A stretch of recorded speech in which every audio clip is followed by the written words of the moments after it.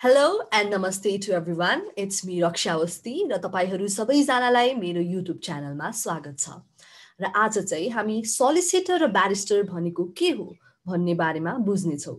तपाईँहरूले विभिन्न मुभिजहरूमा पनि सोलिसिटर र ब्यारिस्टर भन्ने टर्म्सहरू सुन्नुभएको छ होला। त्यसै गरी यदि तपाईँ लको स्टुडेन्ट हुनुहुन्छ भने तपाईँले आफ्नै लिगल इङ्ग्लिस भन्ने सब्जेक्टमा पनि सोलिसिटर र ब्यारिस्टरको बारेमा पढ्नु भएको छ होला। त्यसै गरी अरू विभिन्न ठाउँमा पनि तपाईँले सोलिसिटर र ब्यारिस्टर भन्ने टर्म चाहिँ कतै न कतै सुन्नुभएको छ होला। र यदि तपाईँ लको स्टुडेन्ट हुनुहुन्छ भने तपाईँलाई सोलिसिटर र ब्यारिस्टरको बारेमा बुझ्नु एकदमै एकदमै इम्पोर्टेन्ट हुन्छ। तर यदि तपाईँ लको स्टुडेन्ट हुनुहुन्न भने त्यही पनि तपाईँले चाहिँ सोलिसिटर भनेको के रहेछ र ब्यारिस्टर भनेको के रहेछ?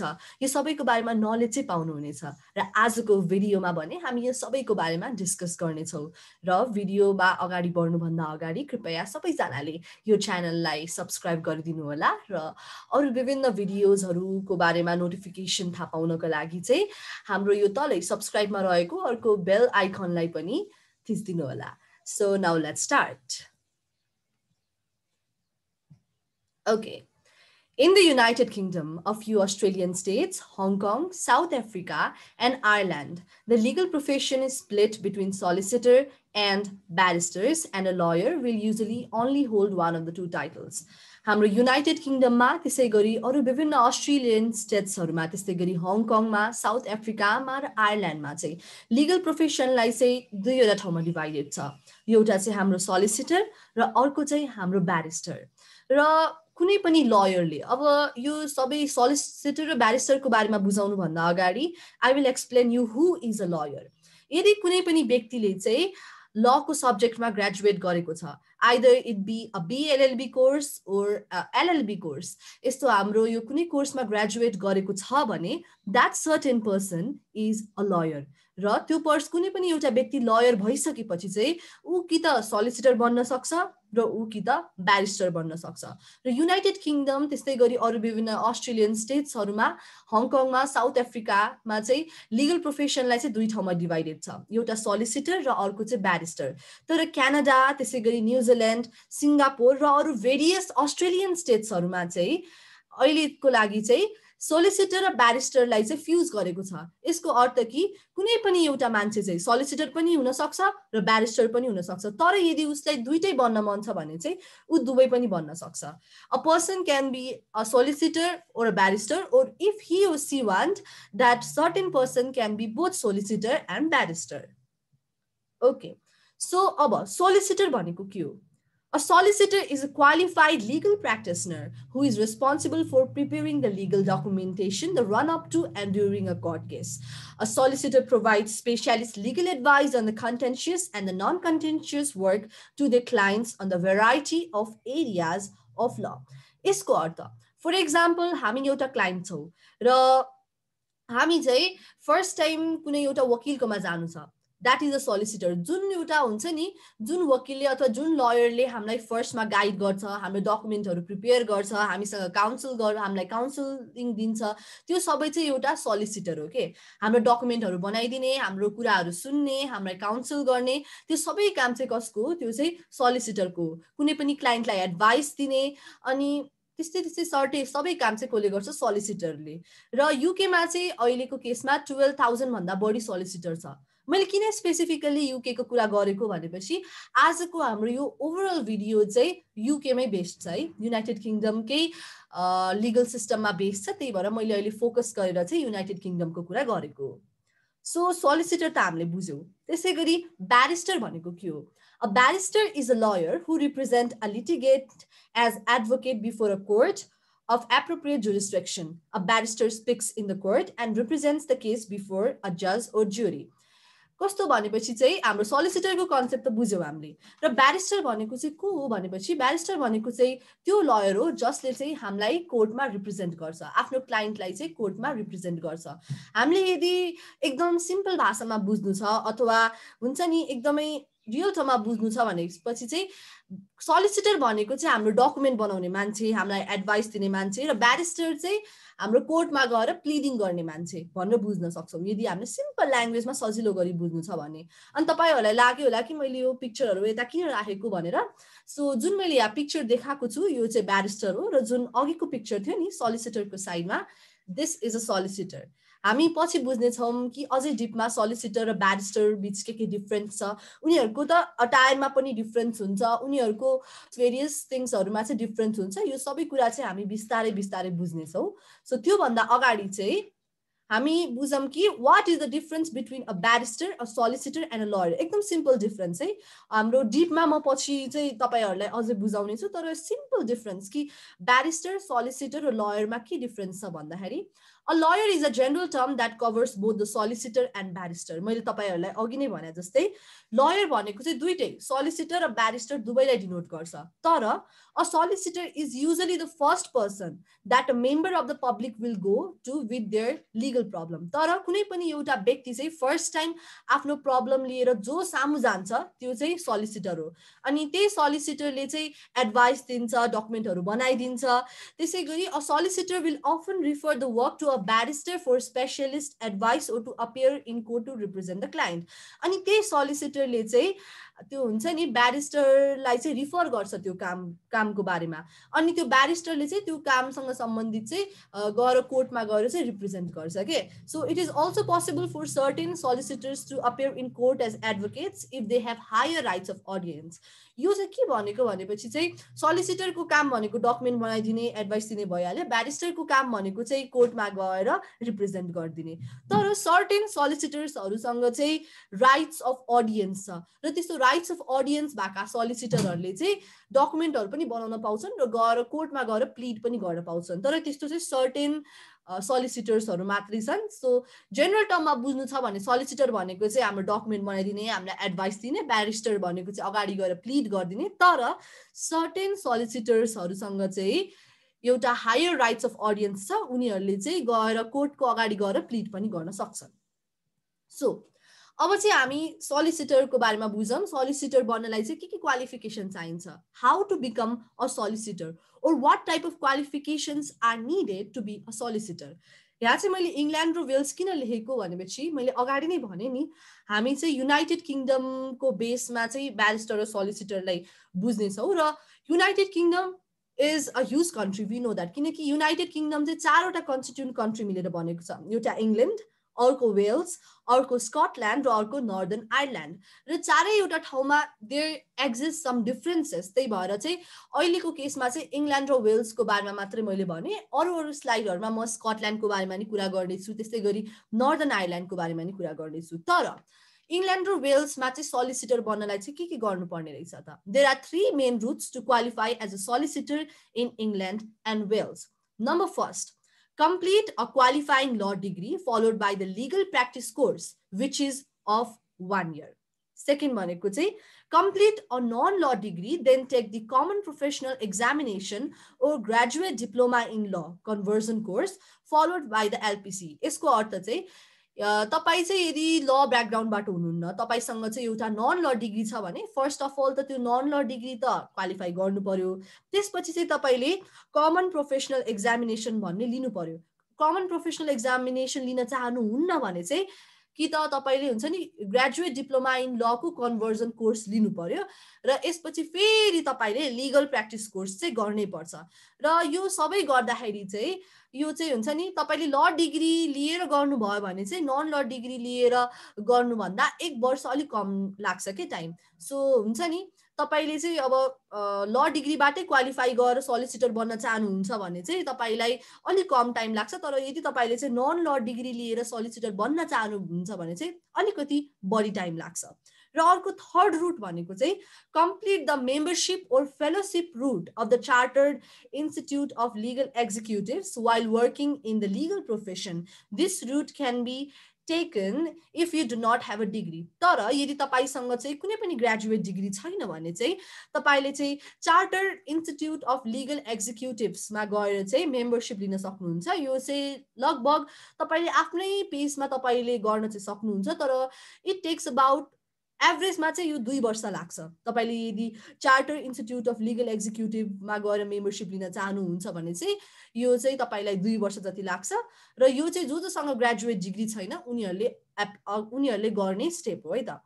अनि यो सबै गरिसकेपछि फेरि तपाईँले चाहिँ टु इयर ट्रेनिङ कन्ट्र्याक्ट चाहिँ कुनै एउटा फर्ममा चाहिँ गर्नुपर्ने हुन्छ सब गर्नुपर्ने हुन्छ। सलिसिटर्सहरूकै बिचमा गएर चाहिँ इन्टर्नसिप टाइपकै जस्तै गरी तपाईँले चाहिँ टु इयर ट्रेनिङ कन्ट्र्याक्ट चाहिँ गर्नुपर्ने हुन्छ। सो समराइज भ्यूमा बन्नु पर्दाखेरि चाहिँ इङ्ल्यान्ड र वेल्समा सलिसिटर बन्नको लागि तिनवटा स्टेप्स छ। नम्बर फर्स्ट कि त तपाईँसँग एउटा क्वालिफाइङ ल डिग्री हुनु पर्यो यो क्वालिफाइङ ल डिग्री भइसकेपछि तपाईँले चाहिँ लिगल प्र्याक्टिस कोर्स चाहिँ लिनुपर्छ। यो लिगल प्र्याक्टिस कोर्स एलपिसी चाहिँ एक वर्षको हुन्छ र त्यसपछि चाहिँ तपाईँले फेरि दुई वर्ष चाहिँ ट्रेनिङ कन्ट्र्याक्ट गर्नुपर्ने हुन्छ।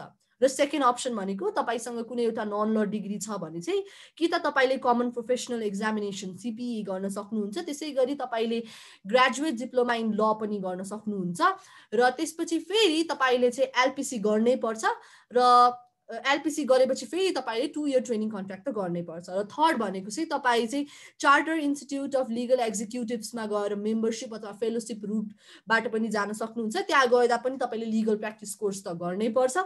लिगल प्र्याक्टिस कोर्स गरेपछि तपाईँले फेरि टु इयर ट्रेनिङ कन्ट्र्याक्ट त गर्नै पर्छ।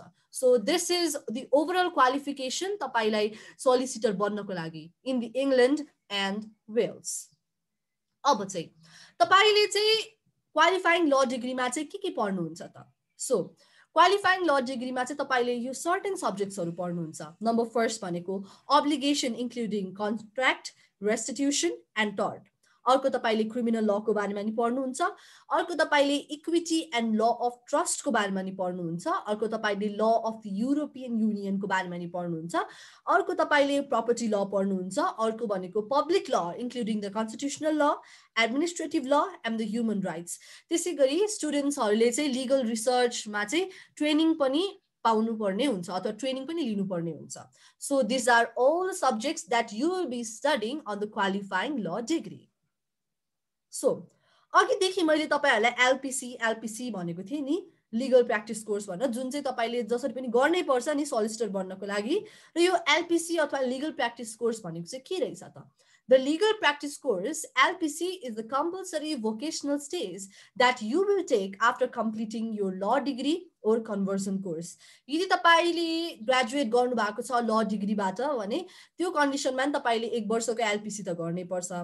र यदि तपाईँले कन्भर्जन कोर्स लिनुभएको छ भने त्यो केसमा नि तपाईँले लिगल प्र्याक्टिस कोर्स त गर्नै पर्छ. Because the LPC ensures that you have the necessary skills to work in a solicitor's office LPC गरेर के फाइदा छ? एलपिसी किन गर्ने भन्दाखेरि एलपिसी गरेपछि चाहिँ तपाईँको चाहिँ हुन्छ नि तपाईँसँग चाहिँ नेसेसरी स्किल छ कि तपाईँ एउटा सोलिसिटर बन्न सक्नुहुन्छ भन्ने हुन्छ नि एउटा चिनो हो कि त्यो चाहिँ? तपाईँ चाहिँ अब एउटा सलिसिटर बन्न योग्य हुनुहुन्छ अथवा तपाईँसँग चाहिँ सलिसिटर बनेर काम गर्न सक्ने योग्यता छ है भनेर डिनोट गर्ने कुरा नै एलपिसी हो। अब यो चाहिँ तपाईँले फुल टाइम लिन सक्नुहुन्छ मैले भने जस्तै फुल टाइम लिए भने चाहिँ तपाईँलाई एक वर्ष लाग्छ।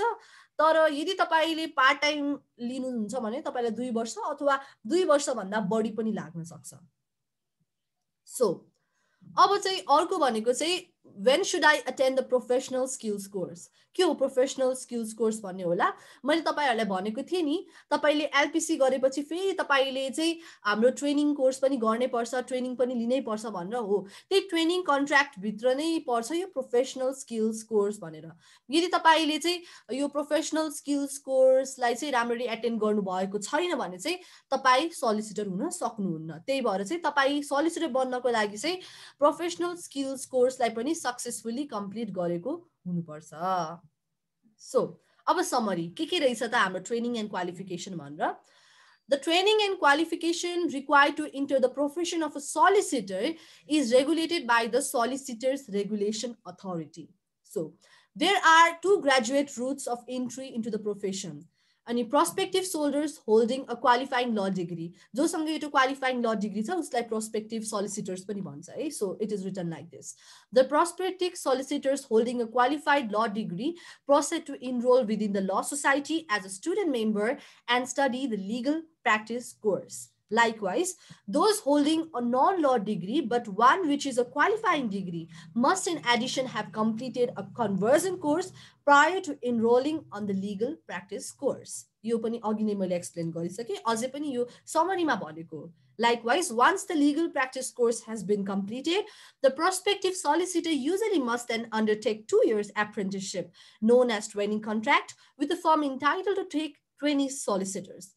Likewise, the training contract was formerly known as article clerkship. It is also possible to qualify as a solicitor without having attended university by being admitted as a student as or as a membership of the Institute of the Legal Executives and thereafter completing the required number of years of practice experience and studying for the legal practice course. यो चाहिँ मैले अहिले किन नेपालीमा explain नगरेको भनेपछि अघि नै मैले यो सबै कुरा भनिसकेँ तर यो चाहिँ समराइज भ्यूमा मात्रै भनेको so now let's go to the next slide अब चाहिँ रेगुलेटरी स्किम कस्तो छ त? सोलिसिटर्सलाई रेगुलेट गर्नलाई के के के कस्ता स्किमहरू छन् त? भनेर बुझौँ। Solicitors and in the England and Wales who wish to practice must pay an annual fee to obtain a practicing certificate. Just अब तपाईँलाई चाहिँ यदि इङ्ल्यान्ड र वेल्समा सोलिसिटर बन्नु छ अथवा सोलिसिटर्स चाहिँ त्यस्ता सोलिसिटर्स जो चाहिँ इङ्ल्यान्ड र वेल्समा काम गर्छन् उनीहरूले चाहिँ हरेक वर्ष चाहिँ एनुअल फी तिर्नुपर्छ आफ्नो प्र्याक्टिसिङ सर्टिफिकेट पाउनको लागि।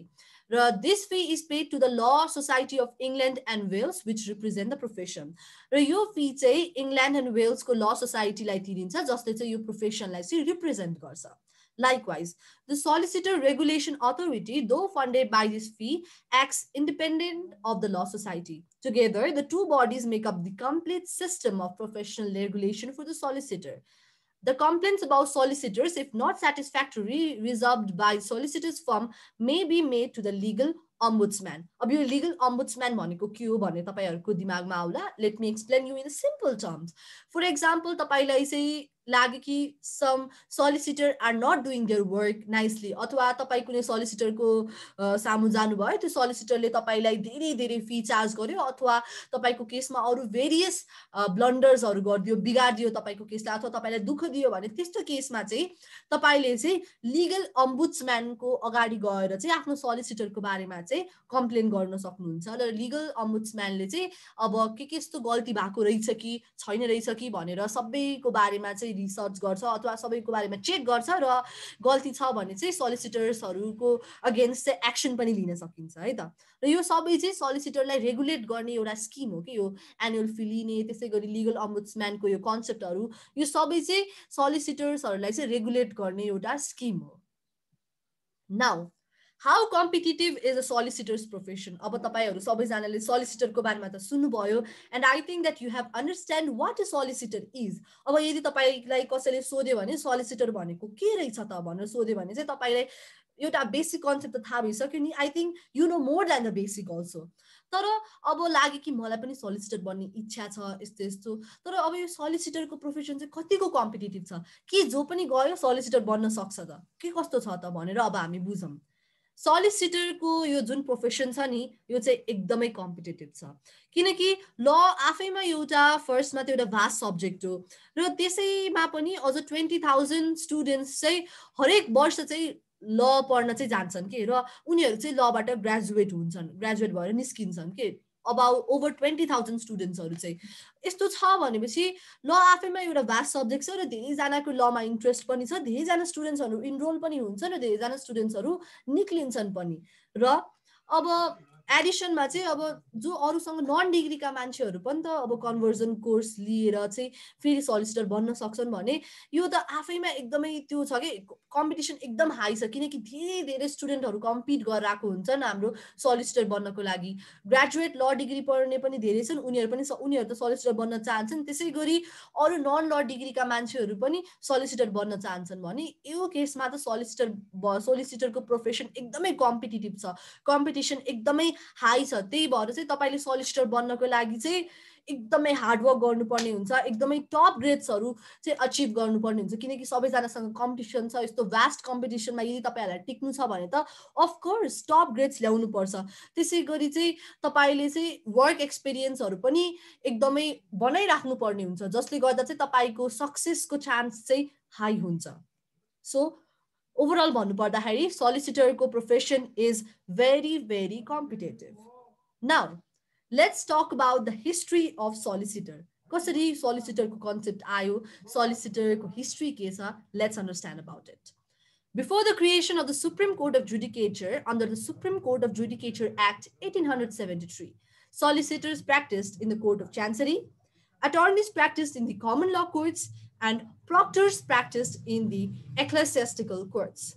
1873 भन्दा अगाडि जब Supreme Court of Judicature Act eighteen hundred seventy three बनेको थिएन त्योभन्दा अगाडि चाहिँ लयर्सहरूलाई तिन ठाउँमा डिभाइड गरिन्थ्यो। एउटा सोलिसिटर्स अर्को चाहिँ एटर्निज र अर्को चाहिँ प्रक्टर्स जसमा सोलिसिटर्स चाहिँ कोर्ट अफ चान्सरीमा काम गर्थे। त्यसै गरी एटर्निजहरू चाहिँ कमन ल कोर्ट्समा काम गर्थे र प्रक्टर्सहरू चाहिँ एक्लेसियस्टिकल कोर्ट्समा चाहिँ काम गर्थे। But after eighteen hundred seventy three the offices of attorney and proctor disappeared as terms relating to legally qualified person being replaced by solicitor of the Supreme Court of England and Wales, except for the uni-government offices of Queen's or King's Proctor and Attorney General. Since the replacement of the judicial aspect of the House of Lords with the Supreme Court, the full title of a solicitor is Solicitor of the Senior Courts of England and Wales.